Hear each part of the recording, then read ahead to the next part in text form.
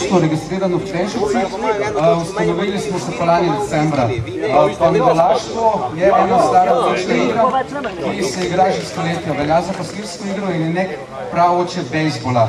Uh, starejši prehnci poznajo igro kot Čoka Svinkovač, če ste zmislili, pa so nekdo kaj igrali. Uh, je pa stvar takšna, ker je v zadnjih desetih letih se ustanovila uh, Zveza društev igre Pandolo Slovenije, predvsem se igra na Primorskem, uh, kjer so tudi vsakoletno državna tekmovanja.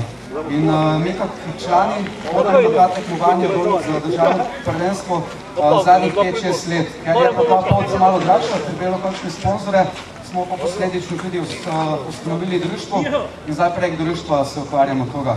Skratka, ta, kaj imamo turnir, je del Pomorske Alge. Pomorska Alga je sestavljena iz treh turnirov.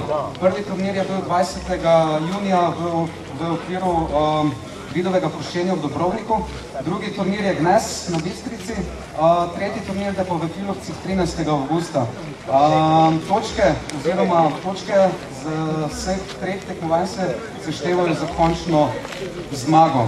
Zdaj, od same igre je malo težko vločiti, morate videti in se fajn, če se postavite tudi k nam, kako vidite, kako celotna igra zgledne. Je pa tak, igro sestavljate dve ekipi po tri igralce in morebitna rezerva, trije napadajo, trije pa branijo z rezervo.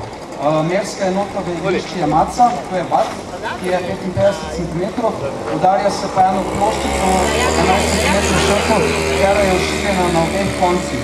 Se pravi, kot Čoka Svinkovač, tisti malo starejši prekmorci, sigurno poznate ta igro.